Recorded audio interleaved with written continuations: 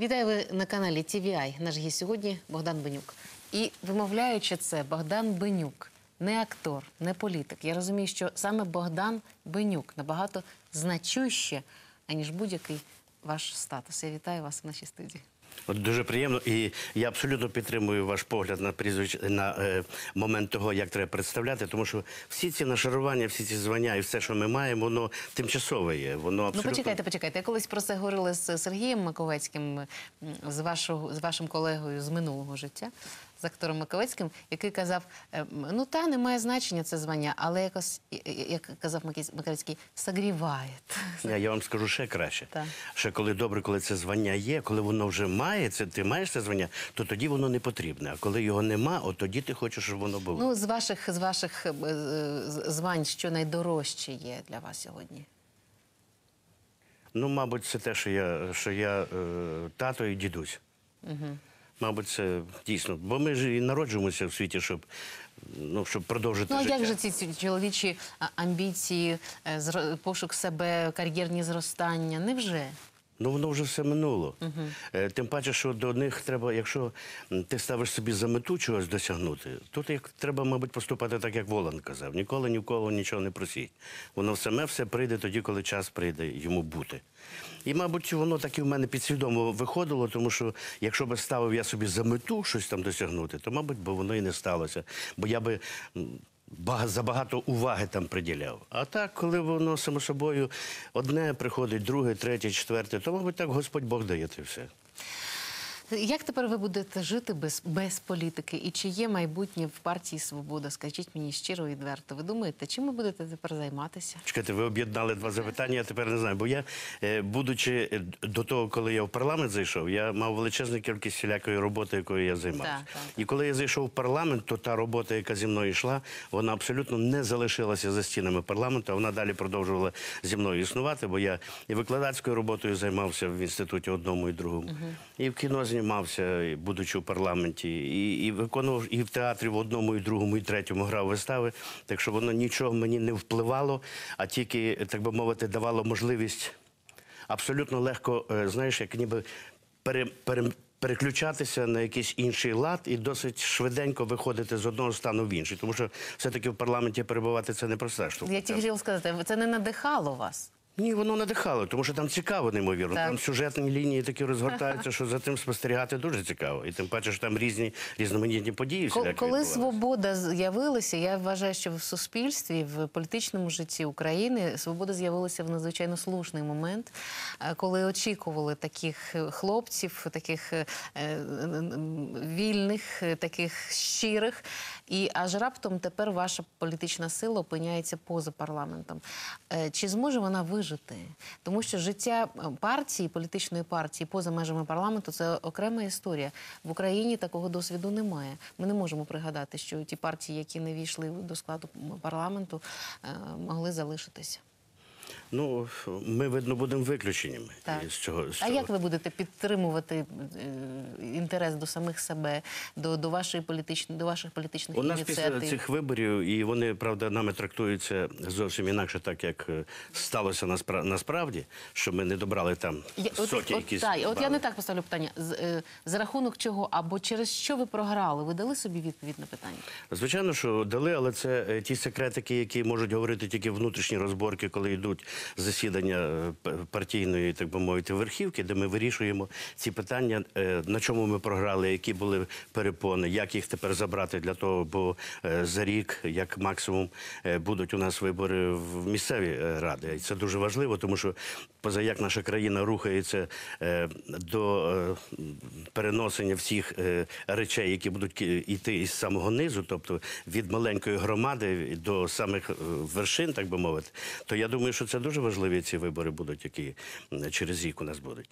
Але і тому то треба сконцентрувати всю увагу е, туди, тим паче, що е, наше всеукраїнське об'єднання воно вийшло тільки з території Верховної Ради і опинилося біля стін Верховної Ради, тому що все одно політичну боротьбу ми не припиняємо і будемо дивитися, як будуть розгортатися події, що буде відбуватися у Верховній Раді і як воно буде І ви особисто не, не ухвалили для самого себе рішення ем, забути про політичне життя. А як її можна забути, коли я в принципі не порушував е, е, своє життя і до того, коли я став членом партії? Ваша поява в кабінеті керівника національної телекомпанії Е, можна по-різному ставитися. Я е, мені так довелося бути знайомою з Олександром Пантелеймоновим, і з іншого боку, я знаю, що чудовий хлопець з чудовою освітою, і я також знаю і розумію ваше обурення тим, що відбувається в українському медіапросторі з українським кіно, з українським телебаченням. Але чого ви досягли цією появою в кабінеті Пантелеймонова, який просто вписаний в цю систему? Ну, по-перше, через три дні його все-таки зняли і поставили іншого раз. А потім, е, якщо ми пірнемо ще пізніше, бо не в Пантелеймонові справа, а справа в тому, що люстраційні ці моменти, які повинні відбуватися в нашій державі, вони просто гальмуються зараз. І вони не, не з часом рухаються. Наша країна нібито е, пригальмовується тільки тим, що ми ніяк не можемо розібратися, хто всередині, що і е, яким чином гальмує весь розвиток. А людей тих величезна кількість є, які просто шкодять державі. Ну, ви правда. шкодуєте про, про той випадок в кабінеті Пантелеймонова? Що А ви про що мені шкодувати? думаєте, нема про що? Думаю, що нема про що. Ви ж уособлення європейськості. Ви актор європейського гатунку. І аж раптом ви в кабінеті А ви думаєте, що європейської гатунки такі не роблять речі? Я, я, ну, мені хотілося б думати, що ні. А я вам скажу, що Так. роблять. Е, Відповідаючи на питання за рахунок або ч- через кого, через що ви програли, ваша політична сила в парламенті, поява правого правого сектору, як ви сприйняли? Е, м- Мені здалося, що ви дубл- дублюєте одне одного. Чи я помиляюсь? Якщо б ви в якийсь момент об'єднали свої зусилля і разом пішли в парламент, можливо, Я думаю, що послужний список Всеукраїнського об'єднання Свобода набагато більше, ніж правого сектору. Тепер ми будемо бачити, як правий сектор буде себе проявляти далі. От тоді ми зможемо говорити про ті речі, про які ви ну це такі внутрішні змагання. Ні, при чому тут змагання? Змагатися можна тоді, коли ми будемо на рівному мати е, ті речі, які будуть мати популярність людей. Поки що е, популярності немає ні в одної, ні в другої сторони, поза як ми опинилися поза Верховною Радою. А життя покаже і побачимо, як буде далі жити правий сектор, що з ним буде відбуватися, які люди будуть його представляти і так далі. Тобто е, тільки час покаже все. Ми знаємо, в історії були приклади, коли актори ставали губернаторами, президентами. Ми можемо пригадувати і Арнольда Шварценеггера, і, і, і Рональда Рейгана. Однак, е, яка ступінь ваших політичних амбіцій? Ні, ну ми не можемо мріяти так, бо, мабуть, і Рейган на якомусь етапі він не мріяв про те, що він буде президентом Сполучених Штатів. Потім доля так повернулася, де його хвиля вже понесла. А тому то як будуть розвиватися події у моєму випадку, не знаю. Тому що я все-таки е, не покидаю найважливіше ту роботу, яка мені дала ім'я, про яке ви тепер називаєте Богдан Бенюк. А Богдан Бенюк це ті ролі, які е, зробили мене як артиста і як людину, і багато-багато тих речей, які пов'язані з тим, що я зараз сьогодні користуюся вже своїм іменем. І тому то як далі будуть розвиватися А ви могли користуватися своїм політичним досвідом і вимагати, я не знаю, посту міністра, е, скажімо, ви якогось портфелю собі. Чого ви на цього не зробили? Мене я з портфелем ходжу постійно. Так. І той портфель в мене я його не міняю, так як Жванецький. Тобто є якась така паралель, де той портфель, який зі мною, а там ті думки, плани і все там в тому якраз портфелі є. А ті портфелі, які е, тимчасово приймають ті камікадзе, які йдуть в уряд. То е, крім е, співчуття і хотіння допомогти їм, у мене не викликається більше а, а ви були б чудовим, як ви думаєте, чи поганим міністром культури? Швидше всього, що погано. Чого? Тому що всі міністри, які були до цього часу, ви можете сказати, що вони були чудові. Мені важко дати відповідь на це питання. Мені я важко, я, тому я думаю, що насправді вони, вони це, це, до питання системи. От я згадала про Пантелеймона Лимонова, який був вписаний в ту систему. І я думаю, що навіть не в обличчях і ні- не в прізвищах справа. А як зробити так, що от вам довелося подорожувати? Ви знаєте, ви знімалися в багатьох країнах світу. Як зробити так, щоб зрештою люди усвідомили, що українське кіно, український театр це те, чого дійсно варто вар- це те, чого ва- варто подивитися, що це вартує нашої уваги, нашої поваги. Тому ну, що просто треба пропагувати його, от і все. Бо в нас є і театр український, який, на жаль, не має виходу за межі України, бо це велике питання фінансування цих поїздок і брання участі там в фестивалях, принаймні. Я вже не кажу про гастролі, бо це інша стаття. А кіно, е, я буквально позавчора пішов, подивився фільм Поводир. І я масу задоволення отримав і дзвонив і режисерам, і акторам всім дзвонив, тому що мене пере, просто переповнювали емоції. І я для себе в тому фільмі побачив величезну кількість тих речей, які е, кінематограф підняли ще на одну сходинку вище. Від операторської роботи, від режисера, то як він з акторами працює, і ті актори, яких я дуже добре знаю, як вони зазвучали в руках е, хорошого режисера, і картинка та, і звук, який. і Емоції, ті, які потім після фільму, це велике значення. Коли довго фільм закінчується, потім титри йдуть, і люди з залу не йдуть, а читають, читають, хто брав участь, то це великий показник в тому є. І е, українське кіно існує, бо величезна кількість є тих самовитих людей, які е, самі за свої кошти, та я беру участь зараз в таких проєктах, де е, гроші не заробляються, а тільки за те, щоб існувало це е, кіно, тому що існує команда, існує режисер, продюсер, існує група людей, які одержимі на даний час якоюсь ідеєю. От ну скільки, як ви думаєте, щоб власне переконати в тому, що українське кіно є, скільки робіт, скільки стрічок мало би виходити в прокат? Ну, кількість породжує якість.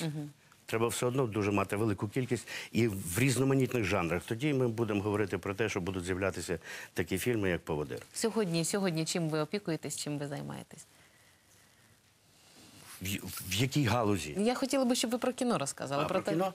Зараз я знімаюся в кіно, яке називається Урсус, що з латині перекладається як ведмідь. Це спільна робота українців, грузинів, німців і болгар. І залишилося завершити цей фільм буквально ще там, по-моєму, днів шість зйомочних, але як завжди не вистачає в нас коштів. Е, із того матеріалу, який є, е, дуже цікавий матеріал, бо режисер е, Отар Шаматава. Дуже цікаво знято в кіно.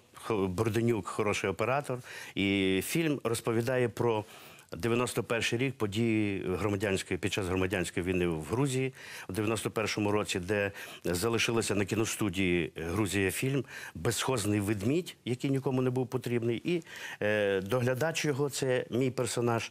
І разом із своїм другом режисером театру Грузинського національного театру ми цього ведмедя по запрошенню берлінського зоопарку перевозимо в зоопарк е, в Берлін через усю територію. Але поза як мій персонаж він е, має прізвище Гоголь, то є ще така е, історія, що величезна кількість наших людей, українців, перейшли Кавказ і на території Грузії 200 років тому назад поселилися українці, які зараз без сумніву вже грузини, але мають прізвище Гоголь. І от я граю такого одного українця, який вже грузинського походження. І тому, коли ми переїжджаємо через Україну, там ціла низка все-таки речей трапляється з України, тих людей, які, як чуєш кругу, кругу, прилітають раптом на свою батьківську землю, то такі моменти є, і центр Європи там обігрується Україна і так далі. Тобто цілий сюжет того, як ми перевезли цього ведмедя до Берліна. І там і любовна історія, і дуже цікавий сюжет. Це перший фільм. Потім е, ще один фільм. Е, Який ем, Коли вийде стрічка? Прошу? Коли стрічка вийде ви в прокат? Ну, Питання. залишилося якихось там 150 е, тисяч доларів для того, щоб дозняти це кіно, а їх, як завжди, не вистачає. Тому що, виявляється, держкіно, яке давало кошти, то уявляєте, як скочила гривня, що тепер ці кошти, вони там, якщо там навіть півтора мільйони дали гривень, то тепер воно вже опинилося 800 тисяч гривень. Тобто це дуже складне економічне питання. А ще один фільм Михайла Ільєнка. Толока. Теж половину фільму відзнято, і теж там я беру участь в цьому фільмі. І запускається зараз 1 грудня е, фільм, який називається А тепер ти будеш любити мене. Це с- сьогодення і історія людей, от як вони. В побуті і в житті е, кожен, е, владновуючи свої, свої стосунки, і своє життя, як проявляються або в позитив, або в негатив. Це така якась лірична така драма.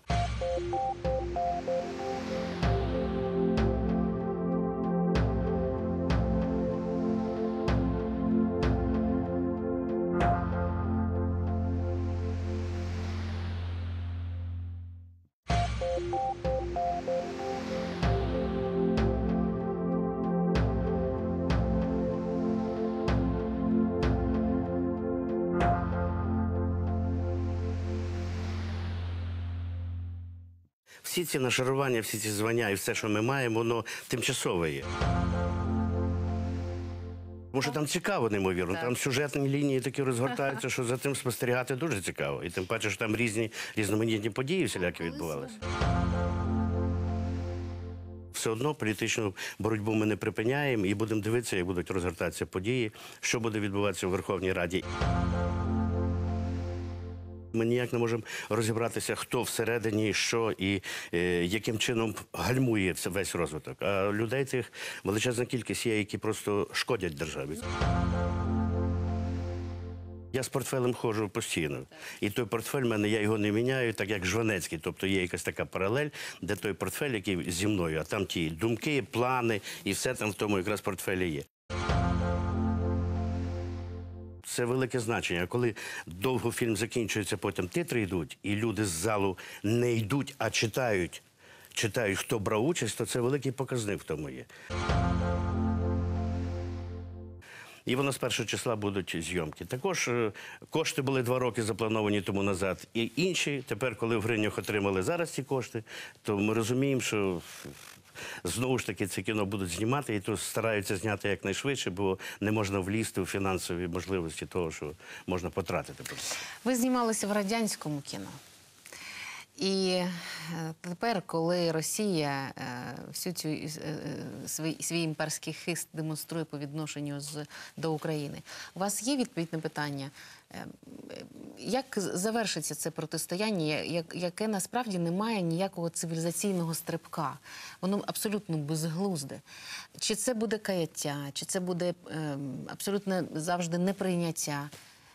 Як думаєте, що очікує нас? Ну, е, не знаю, то важко сказати, тому що дійсно конфлікт він такий. Е, В той же час такий, як ви сказали, а в другий час мені здається, що тут е, цей конфлікт він спонукає нас більш тверезіше відноситись до себе і до навколишнього світу, який оточує нас. І, мабуть, е, оця революція гідності, яка відбулася в нас в Україні, то ще зараз відбувається і революція гідності в стосунках з іншими країнами, які довкола нас є сусіди. Ми, ми зараз маємо такого сусіда, якого маємо, то треба навчитися з ним жити. Тому що світ створений і для них, і для нас. Але знайти співіснувальний процес це потрібно буде в майбутньому. Яким чином? Важко ще сказати, бо зараз воно по-живому йде ця війна, а вона таки війна йде. І ми розуміємо, що війна вона завжди перемогу не приносить нікому. А тим паче, що це загарбницька війна. Якщо вони на нашій території, то в принципі в нас є мотивація на відвоювання тих речей, які складають, ну, по-перше, існування нашої держави. А тому хто буде сатисфакцію з цього мати? Як ми можемо зараз про це з вами говорити, коли ми розуміємо, що не весь такий російський народ, який зараз є, і є інші люди, але керівництво держави російської, воно таке, яке є сьогодні, і воно веде таку боротьбу з українцями, яку веде. Ну тут, на жаль, ми зараз переживаємо ці емоційні речі, які хотілося б нас, щоб е, ті події, які відбуваються зараз в Україні, щоб вони нас викристалізували, щоб вони нас змобілізували внутрішньо, щоб ми почали вірити в свої сили, а найважливіше поважати те, що ми робимо, і поважати один одного всередині країни. Адже поважати себе і вірити в те, що довкола тебе є ті люди, які. е, Прекрасно створюють і Богом послані на цей світ для того, щоб творити якісь прекрасні речі, так як з фільмом Поводир, який буквально мене зараз він просто два дні вже в мене в голові сидить. І я розумію, що ці чудові люди вони здатні робити потім ще багато прекрасних речей, які будуть приносити користь і державі нашій. Е, Тут в Україні знімалося дуже багато російських стрічок, е, кіноробіт, але інша справа завжди була з театром. Е, В мене є подруга, яка мешкає в е, Петербурзі, і вона завжди казала, що навіть в Москві немає такого театру, як, скажімо, є в Петербурзі. Чогось завжди ніяких навіть театральних постановок не було тут. Єдине, е, що петербуржці хотіли побачити, це театральний тандем Бенюк Хостікоєв. Як ви пояснюєте таку любов до вашого творчого союзу?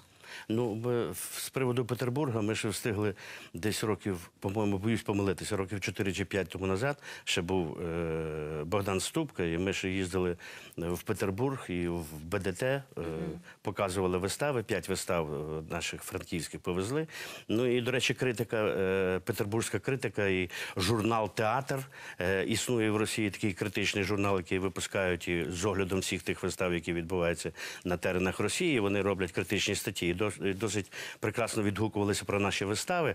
Ну, е, доходило до смішного, бо, наприклад, ту виставу, яка і в нас користується популярністю Кайдашева сім'я, вони на кшталт називали Кайдашеве сім'я. Ну і дуже важливо, що, мабуть, в цьому є якийсь також сенс. Бо е, ті люди, які приходили в театр. В БДТ, і там е, був переклад. Е, Можна було брати наушники з собою, передавач, і тобі перекладали там. Але ми потім помічали, що в середньому десь приходило півзалу ті, які брали наушники. Але потім вони потихеньку скидали наушники, бо дуже важливо чути живу мову. І просто е, росіяни себе іноді вони ліниві були заставити слухати, от напружитися. Їм було важко це робити. А коли вони напружуються починати розбиратися, то можна догадатися будь-яку мову. Тим паче, коли ми, наприклад, попадаємо в якийсь слов'янський світ чи десь там на Балкани, то легко я починаю розуміти, що багато слів і можу скласти навіть логіку всього, що до мене звертається, коли я хочу це. І, і тоді, коли йшли наші вистави, то я побачив, що раптом відкладали всі ці наушники і дивилися наші і Тев'є виставу. Тоді Богдан Сильвестрович показував, і е, Кайдашева сім'я, і Швейка ми нашого показували. І боюся пропустити. А, і одруження ми показували за Гоголем. І, і всю, всі вистави дуже добре приймалися. І тому то й казали, що український театр він. Е, він зберіг ще найважливіше момент зародження спілкування, що дуже важливо. Бо в переважній більшості театри е, працюють як? Беруть зірку яку-небудь, беруть сюжет, ще й цікавіший там, що Ну десь. а ви з Хостікоєвим хіба не зірки? А ми, е, ні, це правда, але тут дуже важливо, ми брали вистави, які різні в плані е, драматургії. Тобто ми брали, брали різноманітні від рок-опери до драматичної вистави для того, щоб показати, що актори наші можуть робити все. І ми в такій театральній компанії, як наша, ми можемо також робити будь-який жанр. І будь-який жанр буде мати право на існування. Це підтверджується тим, що наші вистави, хоча вони рідко граються, але вони в репертуарі є більше 10 років і граються. І зараз, коли ми показуємо там люкс для іноземців, чи за Дунаєць за порогом буде оренда в театрі імені Лесі Українки, то глядач приходить і повний зал, бо інакше проплатити навіть оренду ми не зможемо, коли, коли люди не підуть на З огляду на ті виклики, перед якими ми опинилися, як думаєте, е, яка роль покладає покладено, яку роль покладено сьогодні на, на сучасне мистецтво? Е, Абсолютно пер- пер- пер- пережити е, певний катарсис або почати думати, що просто розвага. Ну, Я, я мушу вам сказати, що коли ми приїжджаємо, е, хлопці приїжджають на передову, і ми також були там і допомогу привозили. Так. І коли е, гітара з окопів не сходить, і коли в наушниках музику слухають і просять. Диски привезти, і коли вони дивляться відеодиски вистав, і коли розумієш на майдані, коли люди приходили до театру Франка, і адміністрація нашого театру пускала майданівців, тих, хто днював і ночував, і ночували там і в, Ки- в Київській міській раді, і в Жовтневому палаці. І вони приходили на виставу, тільки скидали свої там е, ці бушлати, бо холодно було. Вони роздягалися і приходили в театр і, і дивилися вистави. І такі очі після того були, коли вони виходили. Що вони виявляється, коли приїжджали потім додому, на пару днів відпочивали, верталися і знов просилися до театру, тому що це є та віддушина, де ти на хвильку забуваєш е, про існування довколишніх проблем, а перед тобою. Зароджується життя. А ще коли театр добрий і воно зароджується надзвичайно тонко, і ти за цим маєш право спостерігати, то це супер. Люди всі хочуть бути при цьому процесі. І коли процес затягується, і коли вони попадають на добру виставу, то це велике щастя, бо таким чином збільшується відсоток тих людей, які приходять до театру, потім люблять цей театр. Бо в всьому світі, коли подивитися, відсоток невеликий тих, хто ходить до театру. Всього 4-5 відсотків в будь-якій країні. Це не тільки в нашій, воно так є. Але хто попадає, то тоді він просто магніт має до театру. Це страшні часи ми з вами переживаємо, тому що ми змушені, ми поставлені в таку ситуацію, коли ми маємо ділити е, світ на своїх і на чужих. А серед ваших колег, серед ваших друзів є дуже багато росіян, з якими вам довелося перетинатися на одному знімальному майданчику. Позбулися ви цих стосунків? А я можу вам сказати, що світ завжди ділиться на таких своїх і чужих. тільки в інших варіаціях. Це дуже прикро. Ну чому? Ні. Є театр мій, є театр сусідній. Ми хочемо чи не хочемо, але там існує вже якесь суперництво. Ми е, про- просто в цих стосунках перейшли інші грані, перейшли грані війни і захоплення і позбавлення життя. Оце правда. Ну, з Переченковим А як тоді- ви тепер спілкуєтеся? Що-що? З Переченковим ви спілкуєтеся тепер як? Ну, я з ними не спілкувався до цього. Ну ви знімалися ж Ну, разом. ви знаєте, як кіно знімається? Я знаю, Ну, я знаю. Ми можемо зніматися в кіно і не знати, що ми існуємо. Але я знаю вашу щиру насправді душу. Я думаю, що не обійшлося без того, що ви спілкувалися як друзі. Ні, я, я абсолютно з ним не спілкувався. І тому то, е, е, коли сталася ця е, його поїздка на фронт, і коли він там стріляв, а я кажу: а ви що хотіли, щоб він розвернув цей кулемет і стріляв в другу сторону? Чи що від нього вимагалося? Він є представник російського народу, і зараз він живе тими емоціями, які живуть росіяни. Ми потім можемо тут говорити і казати, чи вони обдурені цією політикою, чи ні, чи так і сяк. Він є живе, він є продукт свого народу. І він поступив так, якби поступив, мабуть, і інший хтось з нас, з зв'язд наших, які би поїхали туди і щось таку якусь дурню саму зробили біля кулемету. Ви розумієте, ну це правда. І тому то вимагати щось від нього ні. Мені здається, не треба це робити. Ми вимагаємо зовсім інше від тої країни, яка посягнула на інший народ. Оце дуже погано є. А то, що особисті якісь там є речі позитива чи не позитива, ми що будемо говорити про те, що зараз один другому артист дзвонить чи не дзвонить і признається в любові чи не при... Ні. Тому що ми все одно займаємося. Я, наприклад, займаюся там якимись тими речами, які ну нібито мене дають можливість абсолютно, хоча б на хвильку десь відключитися і піти в інший світ, тобто зайнятися мистецтвом, потім знову ти поринаєш. Ну так, але речі. бачите, відомі актори завжди на вас покладали таку функцію моральних авторитетів, і ви змушені е, час від часу давати відповідь на, на, на, на це крамольне, з ким ви діятелі культури. От в чому напра- Ні, насправді ну проблема. якщо діятелі культури, якщо вони виступають і виголошують чийсь запит, а це був запит тоді, коли підписано було там лист, звернення і так далі, тих діячів, які і безпосереднє відношення мають до України. Швидше всього, що це було по дзвінку і неусвідомлено багато речей було зроблено. Бо щоб підтримати просто політику, ту, яку проводить Путін. Я принаймні так думаю. А, а те, що вже у нас робилося, що ми виступали і казали, ай-яй-яй, як ви так можете, ай-яй-яй, що ми там звертали, для чого ви це робите? Це ж не наших е, рук справа. Тому що якщо позицію таку люди е, займають, де вони починають.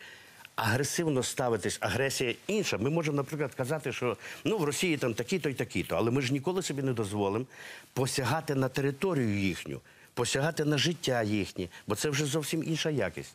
А коли ці речі вступають, то тоді про яку, про яку моральність можна говорити? І про яку позицію тактовності, і про білі рукавички говорити, А коли йде війна? а коли тут в Україні говорять про те, що Крим насправді це територія наших втрачених можливостей, ми могли дійсно на свою користь використати е, і цю територію також. Чи дійсно ми свідомі були того, що за ці 23 роки незалежності ми е, зробили недостатньо? Або нічого не зробили для того, щоб ці люди переконані були в тому, що вони все ж таки живуть на українській території.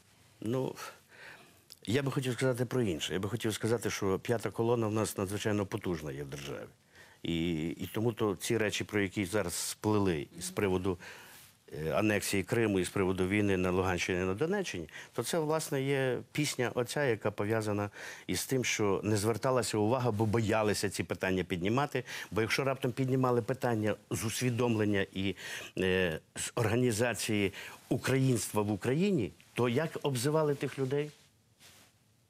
І клеймо е, чіпляли відразу. Так само свобода. Скільки ми перейшли через те, коли ми е, заявляли про якісь речі, які зараз всі, до речі, говорять. І про люстрацію, і про заборону комуністичної партії, і про не треба було віддавати зброю і так далі, якщо гарантій нема довкола тих держав, які виступали Ну, колись нет гарантами пророка в своєму отечестві, ви ж Ні, ну все зрозуміло, але ви подивіться, як воно міняється все. І дуже важливо, що якщо ми в себе в державі раптом заявляємо про якісь речі на утримання цих державних е, ресурсів, то нас починають звинувачувати в тому, що ми перебільшуємо свої повноваження, що ми нібито педалюємо, що ми не демократичними шляхами всілякими йдемо. Хоча будь-яка країна це ж фактично е, націоналістичний погляд має будь-яка країна. І Польща, і Росія. Вони ж кажуть, я русський, гордяться цим і відстоюють ці пріоритети Росії. Правильно роблять, тому що в них країна є. Так само поляки чи будь-яка інша. А в нас це завжди була якась така половинчатість. Чи це вже ми боялися, чи це вже нас, я не знаю, якісь такі речі, які пов'язані вже з історичними фактами, що в нас весь час переслідувало, що ми тільки не дай Боже, щоб щось не сталося, і щоб, щоб ми так не, не звинуватили когось. І тому то ми багато втратили цих речей, які потім з'явилися в нас. І п'ята колона, і ми боялися звертати увагу на це. Крим так взагалі не чіпали, там десь хтось поїхав на гастролі і. Ну і, і, і, не дай Боже, там якісь речі було. Одна школа українська існувала і так далі. Тобто, педалювання держава як великий організм, яка вона мала можливості це робити. Українська держава це не робила в силу різних обставин. Від того від керівництва, хто керував нашою державою, хто керував цими міністерствами, які мали вплив, нібито речі ці робити, і хто цього не робив.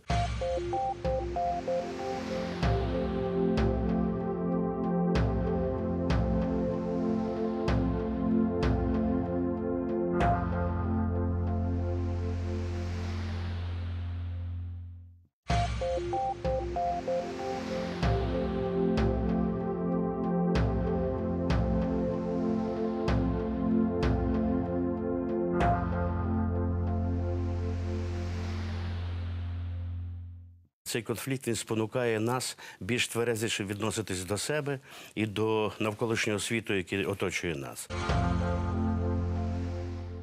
Оце революція гідності, яка відбулася в нас в Україні, то ще зараз відбувається і е, революція гідності в стосунках з іншими країнами, які довкола нас є сусіди. Ми, ми зараз маємо такого сусіда, якого маємо, то треба навчитися з ним жити.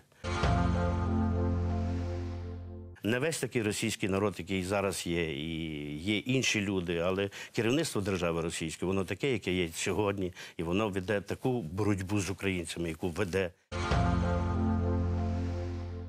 Ті події, які відбуваються зараз в Україні, щоб вони нас викристалізували, щоб вони нас змобілізували внутрішньо, щоб ми почали вірити в свої сили, а найважливіше поважати те, що ми робимо, і поважати один одного всередині країни. Журнал Театр е, існує в Росії такий критичний журнал, який випускають і з оглядом всіх тих вистав, які відбуваються на теренах Росії. Вони роблять критичні статті. І досить прекрасно відгукувалися про наші вистави. Ну е, доходило до смішного, бо, наприклад, ту виставу, яка і в нас користується популярністю Кайдашева сім'я, вони на кшталт називали Кайдашеве сім'я. Бо в всьому світі, коли подивитися, відсоток невеликий тих, хто ходить до театру. Всього 4-5 відсотків в будь-якій країні. Це не тільки в нашій, воно так є. Але хто попадає, то тоді він просто магніт має до театру. Коли сталася оця е, його поїздка е, на фронт, і коли він там стріляв, а я кажу: а ви що хотіли, щоб він розвернув цей кулемет і стріляв в другу сторону? Чи що від нього вимагалося? Педалювання держава як великий організм, яка вона мала можливості це робити, українська держава це не робила в силу різних обставин. Але ми, ну, факт вже прийшовся і стався. Ми вже маємо цю річ, яка вже в минулому. Тепер ми можемо тільки з вами сидіти і казати, було б, могло б. Могло. А ви вірите в те, що е, Крим повернеться в Україну? Ну, звичайно, що вірю, але я розумію, що е, це має бути е, через якийсь певний часовий період. Бо е, фізично забрати його ми не зможемо. Ми слабші є від Росії. І розуміємо, що конфронтація війною це складний процес. Але підключити розум, силу, хотіння, будь-які важелі в цілому світі існують. І це можна робити. Як ваші домашні сприйняли той факт, що тепер ви не депутат, що тепер, можливо, ви більше часу проводитимете вдома, чи е, це не, не про вас? Абсолютно це не про мене. Так. Я вдома, на жаль, рідко буваю, і як буваю, то треба дуже також встигнути все зробити, бо і треба і ґрунт пос- поміняти, і, і розсипати його, і листя згребти. І... Чи у вас немає садівника, який би вам допомагав? Та я стільки грошей не заробляю. Ясно, Так. що якщо садівнику треба платити 250 гривень за роботу в день, то я це ж, а де ж мені заробити такі кошти? Так. І тому то я сам роблю, та з великим задоволенням роблю, бо це ж ти для себе робиш. І це велике задоволення. Я сьогодні з внуком зранку теж встали, ми там листя зрібали, він тримав, я допомагав. І, і це дуже гарно. Пішли каву попили разом з молочком. І, так, і це спілкування, і це те, що дуже важливо є, коли є причина бути разом і хотіння бути разом. Бо це дуже важливо, коли ти хочеш. Бо тікати це, це вже ти програєш. А коли ти хочеш і тримаєшся, то це, мабуть, оце спайка, яка потім і створюється родина. Бо коли в мене курс, я зараз дивився на своїх першокурсників, і я так шкодую, що в мене камери не було, бо вийшли дівчата, їх 14 штук. І я їх попросив, кажу, дівчатка, розкажіть, представтесь, просто скажіть прізвище, своє ім'я і розкажіть про свою сім'ю. Хто ви і чим займаєтеся.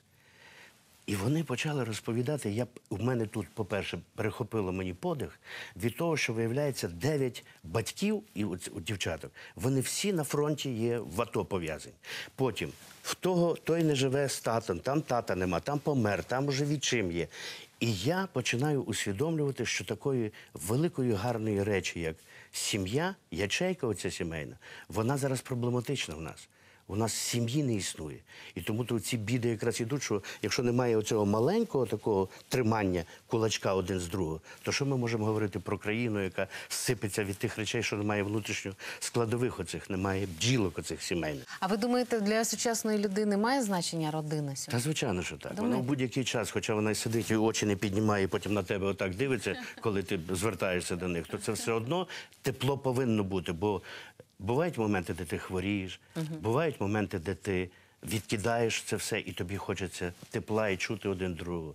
І все, у цих моментах якраз і відчуваєш, що ти потім ти можеш збагнути через якісь роки, що це ти маєш. А потім як повернути і втримати це, бо кажуть, будь-яке кохання, воно теж вимагає, щоб ти весь час дрова підкидав, підкидав і щоб це палекотіло полум'я. Так само і в стосунках між, між е, сім'єю також вимагається це ж робота. Колосальна робота, хоча ти від неї кайф отримуєш. Е, Хтось із ваших онуків, розкажіть мені, чи має акторський хист? Чи ви так під. Моя Орися, їй вона зараз перший клас пішла, а два роки тому назад. В неї такі іскорки в очах. Вона дивиться і так щось таке ним. І жіночість така в неї. Просто я дивлюся на неї і бачу, що це, мабуть, мамина душа в неї вселилася. Тому що як вона опікається мною, як вона слідкує, як я одягаюся, коли я приходжу, щоб я поїв. Вона це контролює весь час. І в неї так очки світяться, і вона мені заявляє так. Товстунчик. І я розумію, що там таке щось жіноче в неї неймовірно гарне є. А тут же ж зашнуровую її черевичок, а вона стоїть, я зашнуровую, нагнувся, і видно, обличчя червоне стало, і ми так зустрілися поглядом один коло другого. Вона дивиться на мене і каже: Дідусю, який ти страшний. І я розумію, що ця безпосередність, вона неймовірна, беззахисність це є те прояви любові, які ти не знайдеш будь-де. Тому що ще немає тих шор, які закривають погляд, немає ще тих обмежень, а є велике те, що ти приймаєш світ, і вони все це мають. Володимир Миколаївич Глобін, режисер, який мене там ліпив як артиста в молодості, він сказав колосальну фразу: допоки в тебе в душі буде якнайдовше зберігатися дитинство і дивування довколишньому світу, що ти маєш, до того часу ти будеш артистом супер. Коли тільки оці речі закінчуються, ти стаєш пісним, абсолютно нікому не цікавий, і ти починаєш займатися самоїдством.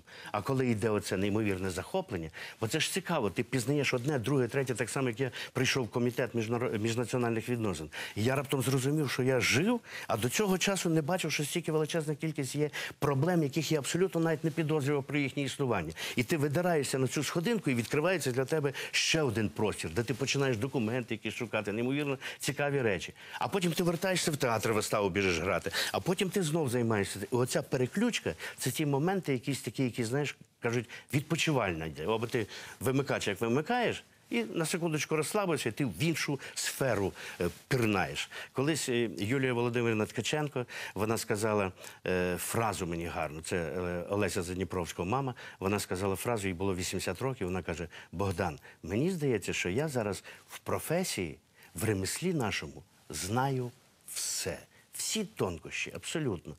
Але фізично я вже не можу багато речей робити. І дуже важливо, щоб ця фізика і твоє розуміння, воно вчасно йшло. Паралельно один з одним, тоді ти в цьому світі ще можеш щось зробити. Щоб не відставала одна або друга рука, щоб всі руки. Ми ж маємо, ми з вами маємо найважливіші скарби, які нам дає Господь Бог. Ми маємо ноги, руки, очі, чуємо, бачимо. Коли ми втрачаємо щось це, ми тільки розуміємо, чим ми вол- володіли. А коли ми маємо ці всі штуки, то це, це треба тільки радіти. Навіть хай ті, гривні, які 100 було, а потім в кишені бачиш, що воно вже 50. І перетворюється в кишені на 10 гривень. Ну і немає значення. Все одно ти ж маєш найважливіше. Ти можеш листя гребти, ти можеш картоплю посадити, ти можеш жука колорадського зібрати. Ти можеш багато речей зробити, які тобі будуть приносити велику насолоду і віру в те, що в майбутньому все буде складатися в позитив. Е, Я думаю, що просто не вибачать мене глядачі, якщо я не попрошу вас прочитати щось, що буде е, уособленням і ілюстрацією того, як власне ви почуваєте себе сьогодні, коли позбулися депутатського мандату. Е, коло мене живе Іван Малкович. Так. Іван Малкович і е, Ваш друг, до речі, не просто сусід, а ваш більше того, Так. я вам секрет собі. Ви куми вже. Він кум. Та що вже? Ми вже давно. так ми живемо поруч. І е, поселився кріт, який і в Івана. І через переповзав до мене, і у мене. І тільки траву покосиш, і тут раптом пірамідки зранку вже нові, і треба ту землю забирати, під е, троянди підсипати. І потихеньку я починав цього крота ненавидіти. Іван зробив по-інакшому. Він прочитав по інтернету, що треба зробити, щоб кротів не було.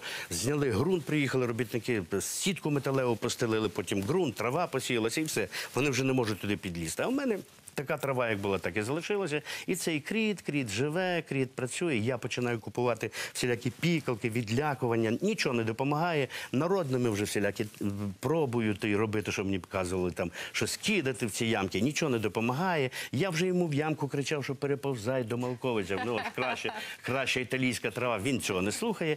І тут е, мій товариш, який з Франції привіз якийсь такий ящик, в нього велика територія коло хати є. І він каже: я привіз такий ящик, який вбиває цих кротів. Вони там повзуть, десь там якісь коливання, і стріла якась там вбиває. І я вже такий радий кажу, дай я в тебе візьму цей на вечір. А потім мені Господь Бог, Бог дав думку. Хто на чиїй території живе?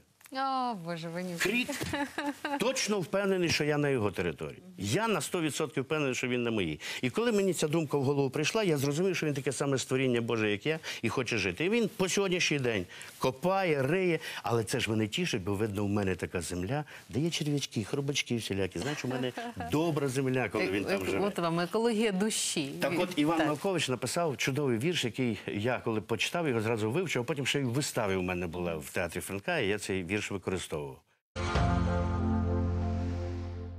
От що дуже важливо є, коли є причина бути разом і хотіння бути разом.